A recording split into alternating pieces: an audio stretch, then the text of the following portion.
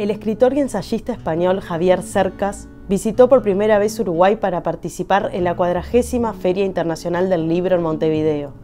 Allí presentó El Monarca de las Sombras, un libro emparentado con la premiada novela Soldados de Salamina, que también indaga en episodios y personajes de la Guerra Civil Española. Este libro es el libro que yo quería escribir uh, desde que soy escritor. El protagonista, al menos aparente del libro, es un tío de mi mamá, casi su hermano, un niño de 17 años que va a la guerra y que muere en la batalla más cruenta de la Guerra Civil Española, la batalla del Ebro.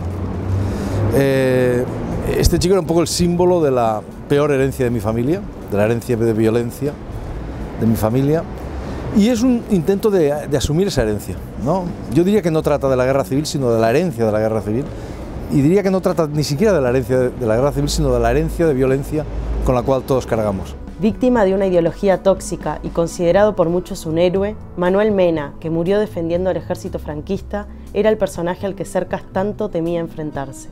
Claro que tenía miedo de enfrentar mi propia historia familiar. Primero porque tenía que conocerla. Y nadie conoce su propia historia familiar.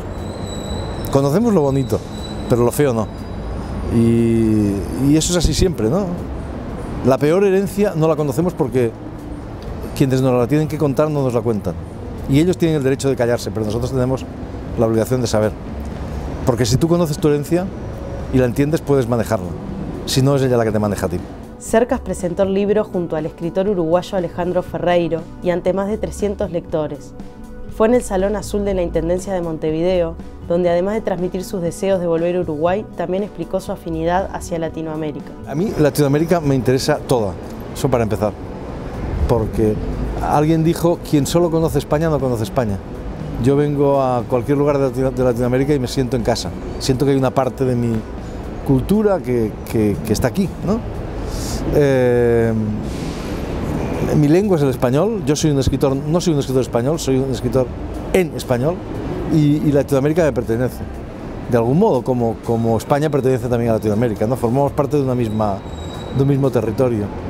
Eh, cultural, literario, y eso para mí es apasionante y siempre que vengo aquí descubro como partes de cosas, partes de mí mismo.